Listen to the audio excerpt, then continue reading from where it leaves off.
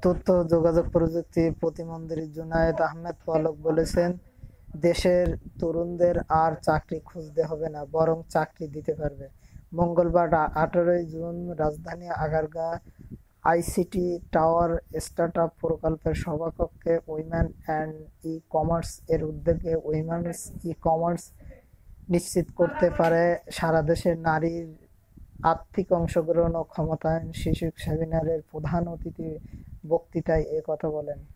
প্রতিমন্ত্রী বলেন, ডিজিটাল বাংলাদেশ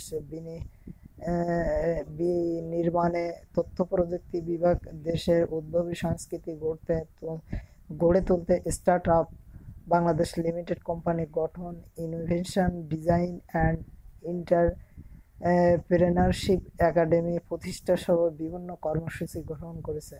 পলক বলেন, আইডিয়া প্রকল্পের মাধ্যমে স্টার্ট আপ প্রতিষ্ঠানগুলো আর্থিক সহায়তা প্রদান করা হচ্ছে। নারী, পুরুষের সমান সুযোগ সৃষ্টি করতে লার্নিং, আর্নিং প্রকল্প বাস্তবায়নের মাধ্যমে নারী উদ্যোগতা উদ্যোক্তা তৈরি করা হচ্ছে।